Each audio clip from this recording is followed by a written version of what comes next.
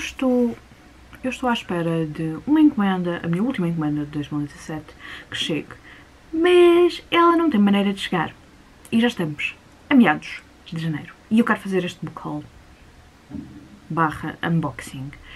Uh, porque, uh, é assim, e são livros comprados em dezembro. Estamos a meados de janeiro.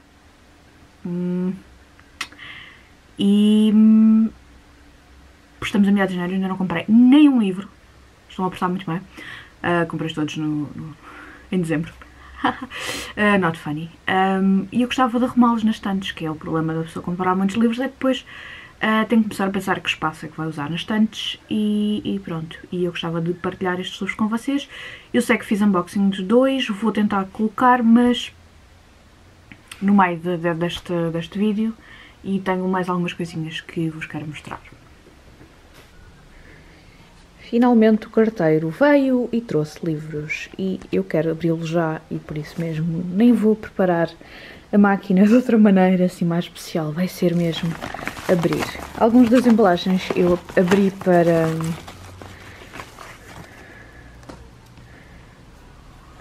Olha, tão giro. The Tale of Kitty Boots são agora os novos marcadores de livros do Book Depository. Portanto, tenho três livros do Book Depository e uma encomenda do Awesome Books. Este é exatamente este que eu estava à espera que chegasse. O de Nightingale, da Christian Anna, com uma capa que eu desconhecia até comprar o livro. Uh, é um livro que tem sido falado por muitas pessoas aqui no, no Booktube. Um,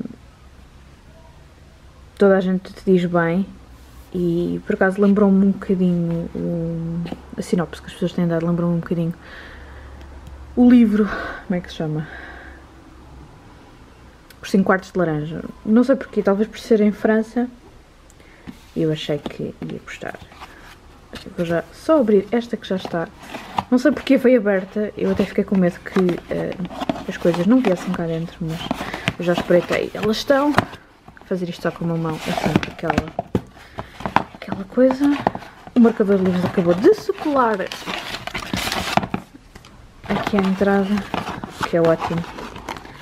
E exatamente, acabou de se estragar todo. Uhul, que bom, maravilha. O que vale é que eu já tenho um igual a este, portanto este. Adeus, marcador de livros. Mas pronto, aquilo que interessa é o livro. E o livro é o The Storyteller, da Jodie Picou, ou a contadora de histórias da Jodie Picou, que eu estou a ler em conjunto com várias pessoas para uh, o, projeto Um Ano com Jodie. Também era uma capa que eu nunca tinha visto e uh, também pareceu das mais bonitas. Eu já estou a ler este livro. Então o livro é um conto de Carson McCullers que é o Wonderkind. Uh, é nestas coleções da Penguin Modern Classics. Esta é Carson McCullers, numa fotografia em que ela era bastante jovem. E aqui diz: escreve sobre outcasts, sonhadores e misfits do sul americano. Para mim é sempre super interessante. Ah, afinal são quatro histórias. Olha, eu achava que era só uma. Eu tinha começado a ler a história Wonderkind uh, numa tradução em português, porque eu fui, fui ver o interior do livro, o livro publicado cá em Portugal. E. Deixa eu ver quais são os outros contos. Wonderkind, ou Wonderkind, The Jockey, Madame Zelensky and the King of Finland, A Tree, A Rock, A Cloud. Eu gosto muito destas edições de contos do The Penguin Modern Classics, mas este é o primeiro que eu tenho. E pronto, já estou mesmo a ver que vou ficar com o bichinho de colecionar mais livros destes. E agora vamos aqui à encomenda do Awesome Books. Vamos ver se eu consigo abrir. Até agora está a resultar. Deixa-me prender isto. Vou ter que usar as duas mãos.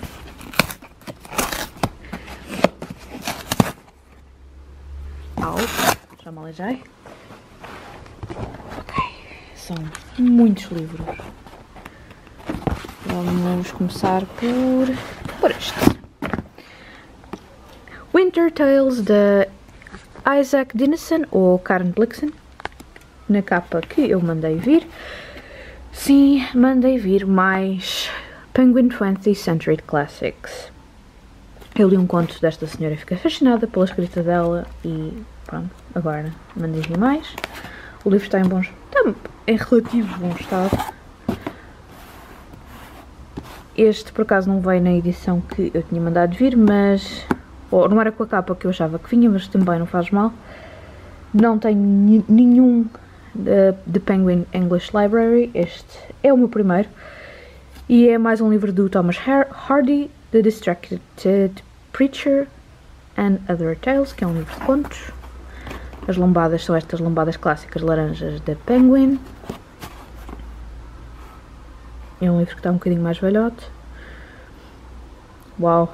Este livro inicialmente custava uma libra e 25. Uau! Uau! Em que ano é que será, de que ano é que será esta edição? Uh, interessante. Editada e uh, com uma introdução da Susan Hill, que é uma outra escritora que eu por acaso gosto. 1979. Uau! Ok, é mesmo. Velha, esta edição. Yeah, mais um livro. E esta capa é absolutamente linda. Mas por acaso não me lembro se a capa era esta mas também não interessa. Edith Wharton, The Age of Innocence, uh, é um clássico. Uh, sinceramente, não sei muito mais, mas tenho estado com muita curiosidade em ler um, Edith Wharton. E este, sim, é mais uma daquelas edições que eu gosto, da Penguin 20th Century Classics. Aqui vem mais, deste lado já não há mais para não destoar, vem mais um. E é mais um, por acaso, da Edith Wharton, The Muse Tragedy, Tragedy aliás, and Other Stories, que é um livro de contos da Edith Wharton. A Edith Wharton, eu penso que ela ganhou um prémio. Deixa eu ver se está diz aqui. Não, não diz. Mas ela ganhou um prémio com um livro dela. Por acaso não sei se é o The Age of Innocence, se é o outro. Ela também tem um que é o The House of Mirth, que eu também queria comprar, mas depois decidi pelo dos contos, porque eu gosto de contos e estes é mais um daquelas edições que eu gosto. E o último livro também é dessas edições e é um da Isaac Dennison ou Karen Blixen, o Seven Gothic Tales, que...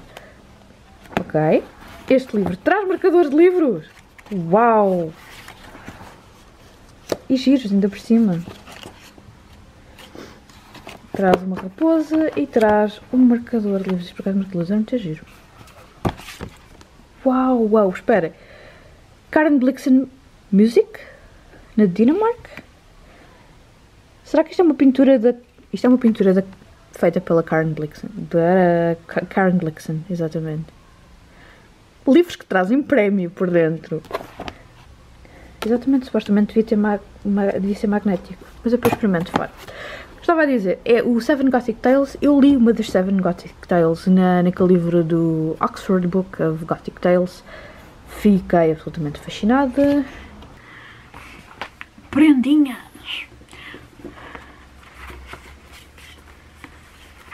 Uh, este foi um livro que a Cristina, do canal Books and Beers, me deu. Uh, isto é o quinto, sexto livro de uma série do Bernard Cornwell, que é um autor que eu quero ler.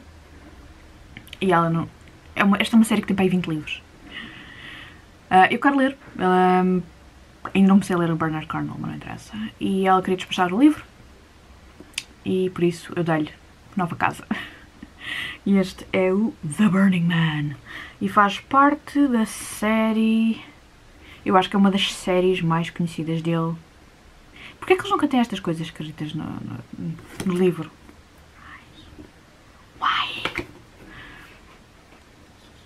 Ah, o que vale é que a Cristina escreveu aqui no, logo na primeira página. The Saxon Stories, e é o quinto livro. Até tem autógrafo e tudo. Pronto. Depois, na, durante o encontro do Clube dos Clássicos Vivos, eu esqueci-me de dizer nesse vídeo, uh, houve um sorteio feito pela... A Jéssica fez um sorteio. A Jéssica do canal Companhia Literária fez um sorteio durante o encontro e eu ganhei. Então ganhei uma tote bag com o essa. Muito gira. Que diz o coração faz o caráter. Aqui embaixo. Essa de Queiroz. Está muito gira muito, muito gira. O que é engraçado que o, em 2016, 2016 um, a Marta do blog Viver a Viajar ofereceu-me uma tote com o Fernando Pessoa e agora já tenho mais uma segunda tote, com um outro escritor uh, e eu faço coleção também de totes, já agora. Portanto, mais uma para a coleção! Sim, isto é a pilha de livros que eu tenho para vos mostrar e que eu não consigo mostrar de outra maneira, a não ser assim. Bem, então vamos a isto. Unboxing da penúltima encomenda do Awesome Books de 2017. Só que vou precisar das duas mãos para abrir isto.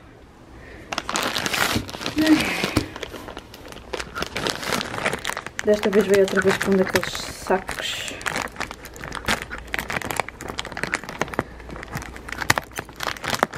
não sei o que é que prefiro, não sei se prefiro as caixas, se prefiro os sacos. Se por um lado as caixas parece que as coisas vêm um bocadinho mais direitas. Quanto à chuva os sacos parece que protegem mais. Ora, olha lá. Dá aqui uns livritos grandes. Primeiro livro. Está um bocadinho sujo.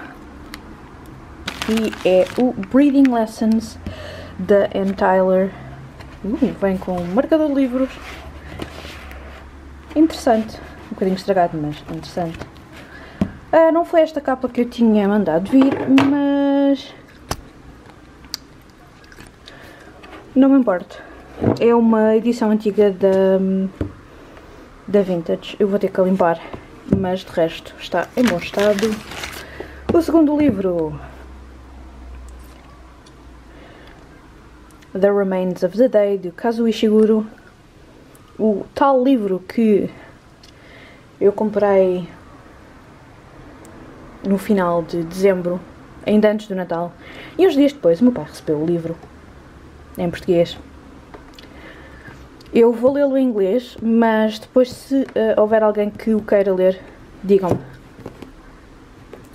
Aliás, Elisa, miúda geek, quando eu ler, depois de eu ler, queres ler? Depois, se quiseres eu mando-te o livro. Um livro que eu tenho bastante curiosidade em ler, The Light Between Oceans, que foi adaptado também para cinema. Gosto bastante desta capa. E era um livro que eu estava com vontade de ler. E este último, ahá, yes. The Complete Father Brown do Chesterton. E eu comprei este livro por causa da série. Eu já andava, desde que soube que a série ia começar, que fiquei com vontade de comprar os livros. Aliás, até, até antes já andava a ver os livros do Chesterton, especialmente os livros de, desta série do Father Brown. Mas eu achei que as edições completas iriam ser mais baratas e, e foram. Eu paguei menos de 4 euros por este livro. E se comprares em, se comprar em novo ou se comprasse em individual, era este preço ou mais caro. Por isso, estou contente. E gosto bastante desta capa. Foi a capa que eu tinha escolhido, que é uma edição da Penguin. Que por acaso ainda tive a, vir, ainda a, ver, a ver no Book Depository este, algum destes livros em, como novos. E este, por exemplo, com esta capa já não existia. O The Light Between Oceans havia, existem vários. O, este também havia com outras capas. Esta é com a capa da do, da adaptação cinematográfica. O Dan Tyler é que realmente vem com uma capa diferente. E estes dois livros são para o projeto. Um, como é que se diz? Livros com 29 anos. Que uh, foi um projeto criado pela Elisa Amiuda Geek. Este book haul barra unboxing parece que está mal falado, porque já é a segunda vez que me acontece enquanto estou a gravar. Ficar sem bateria. Então, uh, num dos unboxings que eu fiz, eu estava a mostrar-vos duas coisas que vinham no livro Seven Gothic Tales, de Isaac Dennison, ou Karen Blixen, e um deles é este marcador de livros com esta cena metalizada. E este postal que é de, de, de Karen Blixen Museum. Não consigo perceber se foi desenhado por ela ou pintado por ela ou o que é que foi porque hum, está escrito em línguas estranhas. Mas se quiserem ler está aqui e eu, pronto, era uma das coisas que eu queria partilhar. E depois falta mostrar-vos os outros livros que um, aqui a máquina cortou. Portanto, Breathing Lessons da Anne Tyler, que também veio com marcador de livros, que tem... É fantástico o que está aqui escrito. Isto era da um, editora, acho que é a editora,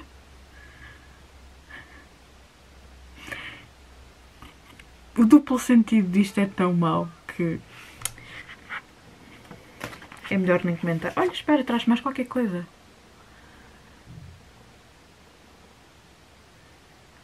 Fantástico. As coisas que vêm dentro destes livros. Lembram-se no meu último unboxing de eu falar dos livros de Sin City e que eu não estava a conseguir encontrar o sexto livro da série? Entretanto, encontrei o livro foi muito mais caro que os outros, foi para aí quase o dobro do preço, mas no entanto continua a ser um preço muito bom, uh, obviamente isto com os portes. E este chama-se Booze, Broads and Bullets. E parece-me bem. A capa é diferente da, das outras que eu tenho. A lombada também, mas eu não me importo. Já agora posso mostrar-vos aqui um painel. Eu eu adoro. A arte do Frank Miller. Depois, mais dois livrinhos que a Cristina já me tinha enviado já há mais tempo, que eu não fiz, não me lembro se fiz unboxing, não me lembro. Se apareceram no unboxing, apareceram. The Winter's Tale, do Shakespeare, nestas edições ilustradas. Um, eu também, eu tenho uma edição ilustrada de, do, destes livros, um, que por acaso é um dos meus preferidos, que é o. Agora lembrar-me do nome. A Midnight Summer Dream. Acho que é assim. E depois o outro livro que a Cristina me enviou foi A Cidade dos Sete Mares de Vitor Eustáquio. Que eu não sei nada, mas adoro a capa. Esta capa caveiras. Eu adoro caveiras. Portanto, I'm in for it. Como eu já vos tinha dito no início do vídeo, falta-me ainda receber alguns livros, uh, mas provavelmente só os vão ver em fevereiro. Mas ainda vão ser livros comprados em dezembro. Yeah.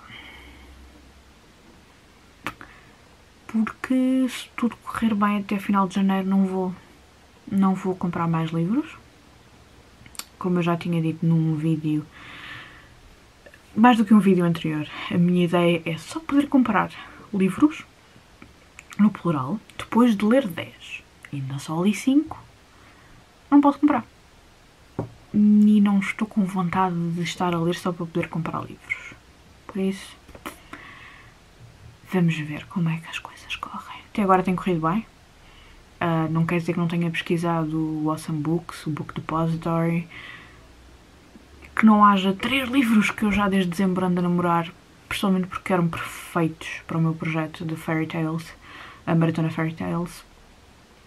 Um, são três livros que têm recontos, um, ou que são inspirados em, em, em lendas ou contos. Uh, um deles é russo, o outro dele é inspirado numa.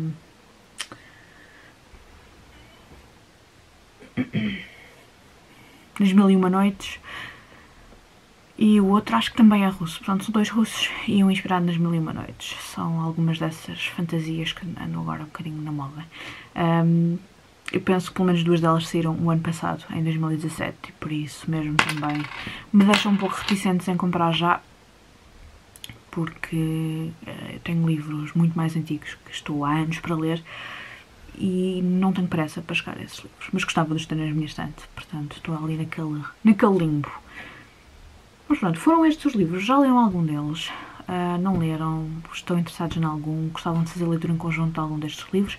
Digam-me nos comentários e até ao próximo.